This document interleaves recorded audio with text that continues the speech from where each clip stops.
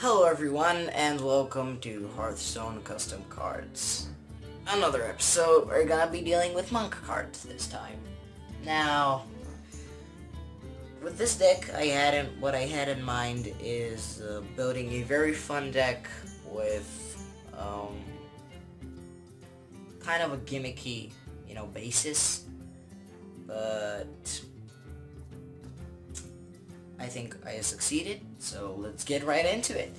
Uh, first off, our hero is the one and only Chen Stormstout. I think I still haven't found a hero power generator, but his hero power is going to be zero mana, switch to another hero power. Yeah, I think that's pretty good hero power. And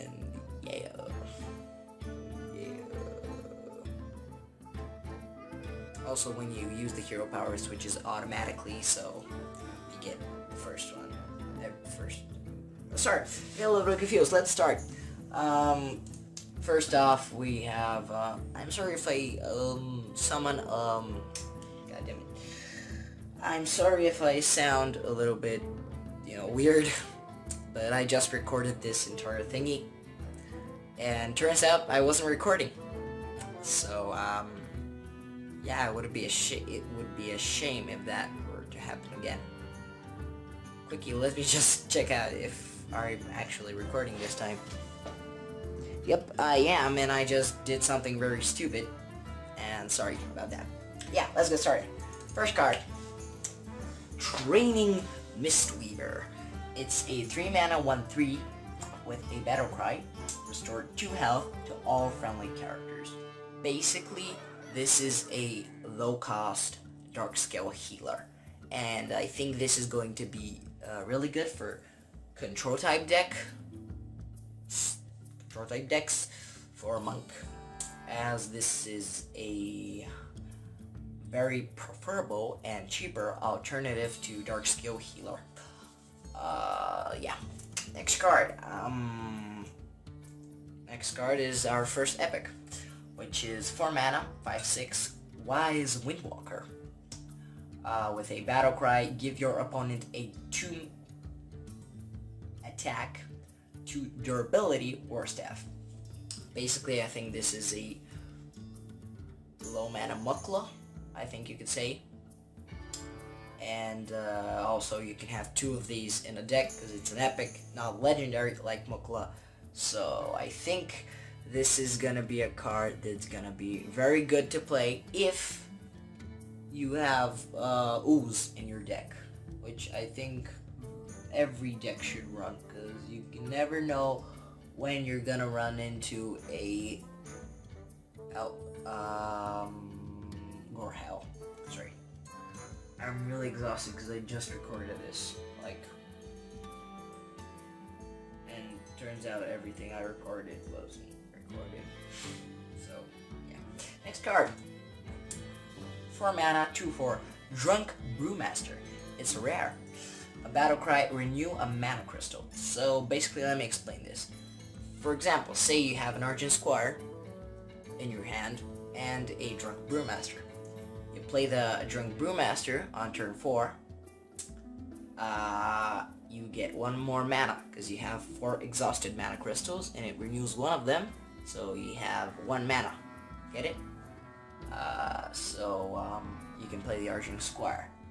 Uh, this also works, uh, this is basically like a free coin, but it's not a spell, so it doesn't trigger your VanCleef or stuff like that, and uh, I think it's a pretty fun card. Like I said, what I had in mind when building this deck was fun.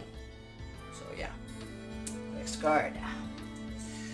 Uh, next card is going to be our first spell, which is uh, a 5 mana epic. And its spell text is draw 3 cards and restore 5 health to your character. So that might seem a little bit overpowered, might seem a little bit underpowered. But I think it's a very nice hybrid card and I think you need to have at least one of these in your decks. Uh, for example, this is a perfect card for a stalemate situation. For example, you are on turn 10, you and your opponent have both drawn all your cards and um, you're left out with no cards. Uh, sorry, you've played all your cards and you have no cards to play. Um, so basically it's a, uh, then in this situation, basically it's a race who can get the biggest damage, you know, first, so, so they can finish out the opponent. This is going to be your best bet, because not only does it heal you, it gives you the cards you need. So I don't think it's overpowered, because you have Lay on Hands, uh, which is basically a buffed up version of this card. And uh, you have the Druid's 3 mana, 8 health. So, yeah, I don't think it's that OP. Next card. Uh, plus, it's an epic, so it's pretty hard to get. Considering, you know, if this was a rare, it would be considered OP, because rares are common. I know Hearthstone logic, right? Next card. Our next card is a 4 mana common Determined Defender. Taunt. Gain plus 2 attack every time a friendly minion dies. It's a 1 attack, 5 health. So um, basically, this is going to be a really good card in control decks. For example, say you have a couple of minions out and you want to trade. You play this before you trade with the minions, and this guy gets buffed into the sky. I don't think it's OP, because um, considering you can technically have the stats of a 1-5 on turn 3. And I don't think Taunt costs any stats. Because you have Tazdingo, which is a 3-5 with Taunt. And um, it doesn't cost, the, the Taunt doesn't cost any mana or stats. So I think this card is going to be really fun uh, to play or potentially game breaking. However, I don't think it's OP for another reason, and that is because it's in Flame Strike range. Uh, 5 mana isn't that hard to kill, uh, especially on later turn turns. But I think it's going to be a very useful card nonetheless, and very useful in the Monk control type deck. Okay, next card. Uh, next card is a spell, a 7 mana uh, basic spell. Soothing Mist. Uh, heal all friendly characters for 4 health and give them immune this turn. This is basically a reverse Flame Strike with a immune effect. And I don't think this card is OP, for example, uh, because um, because Priest has uh, a 0 mana heal for health to all friendly characters, and uh, a uh, Warrior has a 3 mana give all friendly minions immune, so I don't think this is OP. And again, it's very good in a situation where you have a lot of minions. It's very beneficial in that kind of situation. So I think Monk is going to be a very control type deck if they ever implement it. Next card. Spinning Crane Kick. A 6 mana, deal 3 damage to all enemy minions. Destroy your opponent's weapon. Speaking of Flame Strike, um, this is a poor man's flame strike.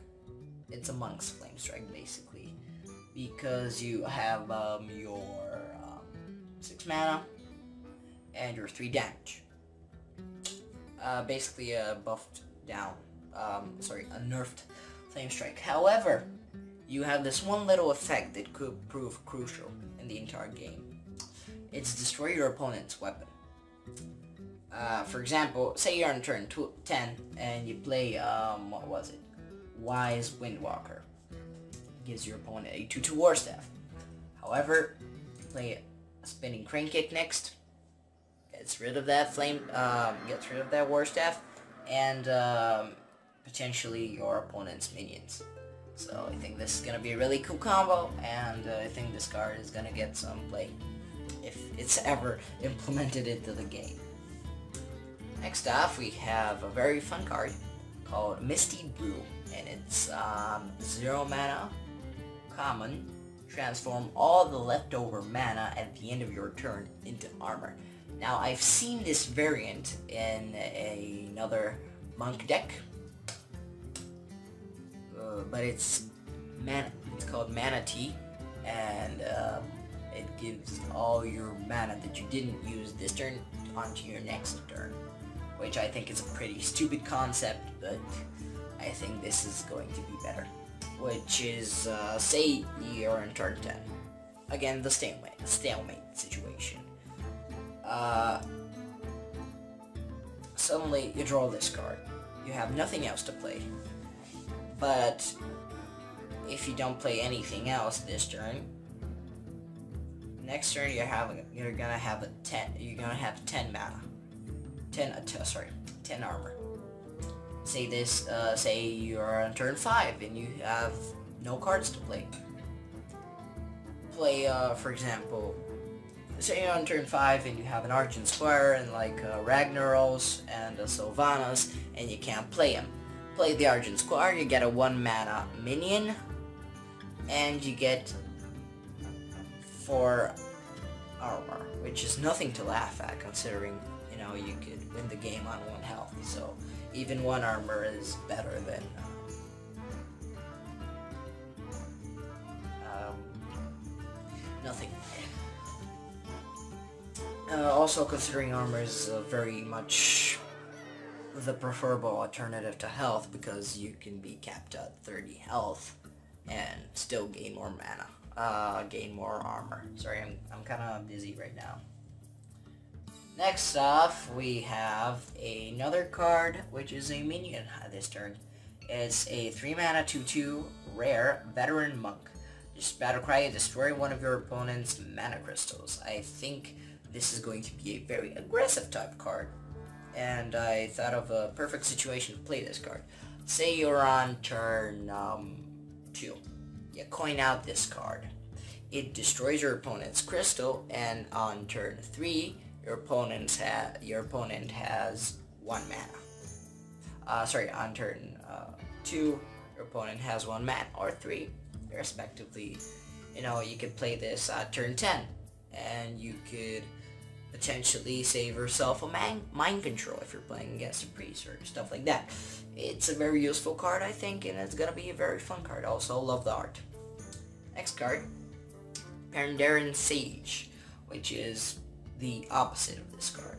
It's a 4 mana, 3-3, uh, it's a rare card as Veteran Monk is, and its death rattle is gain a mana crystal. So it's wild growth costing 1 mana. However, it's at a death rattle cost, which is consider considerably worse than um, considerably worse than Battle Cry because Battle Cry is an instant effect but Death Rattle is uh, you, you know the minion has to die itself but you know say you play this on turn 4 and your opponent is a hunter with snipe and you instantly gain a mana crystal.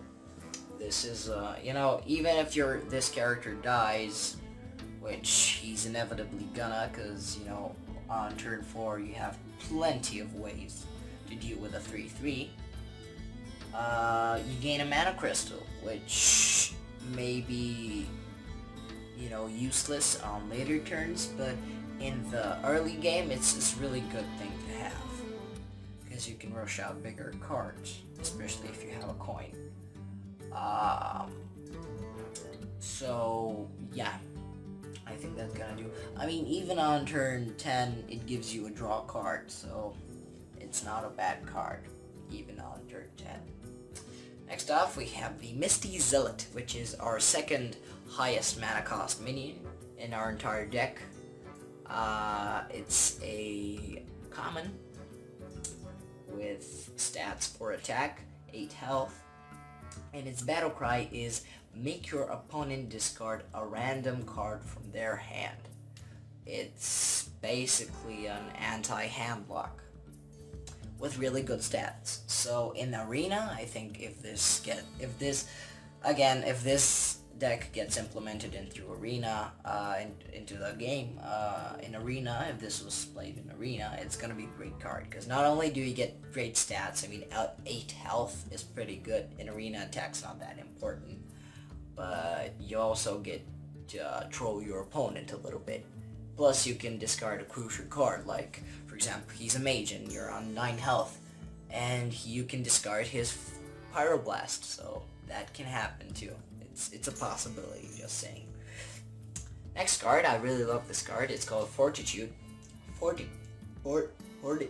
Just read the goddamn text. Uh, sorry. It's, uh, 2 mana. Give a minion plus 3 attack.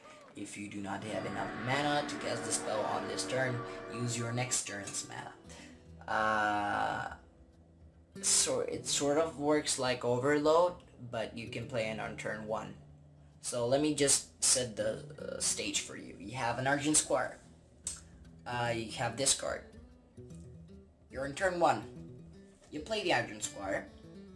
You play this card the Argent Squire gets buffed to a 4-1 with Divine Shield. You get... Uh, so on your next turn, which is going to be turn 2, if you play this on the scenario that I am currently describing, um, you're not going to have enough mana. You're not going to have any mana. Because it, this card costs 2 mana. On turn 2, it's going to be 2 mana, like, overloading but I don't use the term overload because you can't play overload cards if you don't have any mana, but you can play this card. Uh, yeah, I think it's a pretty nice card in buffing decks, if, if there's such a thing as aggro, um, monk is gonna be a pretty cool card, but I don't think it's gonna be an aggro monk. You could potentially try it, there are cool stuff you can do with this deck, especially with the healing and stuff. But I don't think it's possibility. Next card. Um, yeah, next cards are basically our last card. Um, no, second to last card, which is Will of the Celestials. It's an 8 mana um, card. It's a basic card. It should have it should have been an epic, but things got screwed up. Sorry, got that, guys. Uh, a random spawn of the Celestials. So um, these minions that can be summoned are four, so there's a 25% chance you can get each one of them, and they're pretty useful in my opinion. So let's take a look at them. First one is the Spawn of Yu'lon. It doesn't cost one mana. I've already explained that.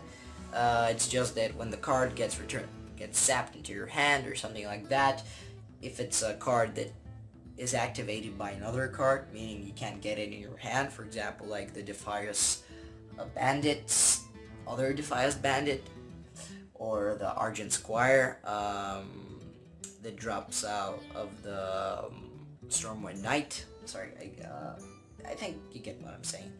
Uh, or the boar that comes from the Razor Razorfen Hunter, you know, they, they all cost one mana because they had, when they're returned to your hand, you have to summon them back. So basically Spawn of Yu'lon is um, spell damage plus 3, 4 mana, 5 health. Which is considering, you know, you can just replace the one with um, 8 because it's in a 25% random chance to be selected. Uh, but I think this is an OP, this is, isn't uh, an OP card, and it's gonna be really fun. I love this card, the Celestials, I really do. Next off, we have the spawn of Niuzao, or Zao, which is a 2 mana, 9 health with Taunt. I don't think this card is OP considering the 8 mana stat is 16, and this is 11 if you combine the two stats, the attack and the health, plus the Taunt, which can be one, can be more than one mana, can't be more than one mana. I don't think this card is OP. I don't. Plus combining the 25% chance. You know, you can't rely on this card, but what you can rely on is getting pretty cool cards off of it. Next off, we have the spawn of Shiji, Chiji, Fuji, I don't, I don't know guys. Um, and uh, it has um, 3 attack, 9 mana, Wind Fury. Um, so basically, this card is an OP, as I said, uh, but is a really good removal.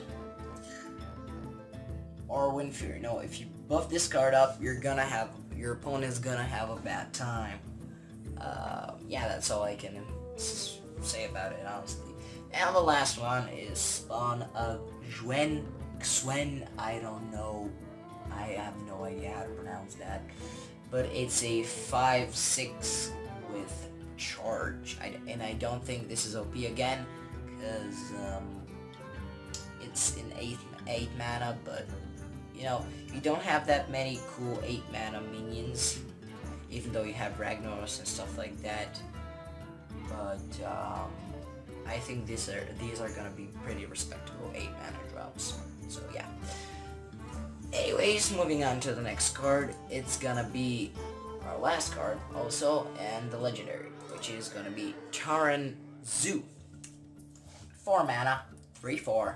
Whenever a minion dies, gain stealth and plus 1 attack. So, um, the best situation, you know, the maximum value potential here is um, getting a full board and trading with this character. And once you've traded with all of them, for example, say you've traded three minions with three other minions, which is the ideal case, you can also trade six other minions with, uh, you know, six other minions, which is gonna be just mad, but say you play this card with a um, full board and three minions trade with three other minions, let's just say it like that. So this guy gets six attack and stealth. So this, I don't think it's an OP card because um, if you don't have anything on the board, this is pretty useless and you have one, uh, you know, you have one attack bonus. You have a one attack bonus, which isn't that big, but considering this circumstance, could be. And 4 mana is a very easy target to remove, especially once he's attacked you with all that enormous um, attack and he's removed his stealth. On turn 4, there are plenty of ways you can destroy a 3-4 or even a 9-4 or, in a worst case scenario, a 10-4. Uh, but I think this card is an OP and it, I think it's really good. But anyways, that's my thought on the subject. Plus it's a legendary, so it's really, really, really hard to get, believe me. Uh, yeah, I think those are all the cards, and, um, thanks for watching, by the way. Really appreciate it, and, um, yeah, yeah, I think that's, um, that's it. The cards are gonna be in the description, and, um, uh, once again, I didn't make the images, I made the cards, uh, the images belong to their respectful owners, Blizzard or fan artists or stuff like that. I don't take credit for them. But yeah, mm, that's it. Bye.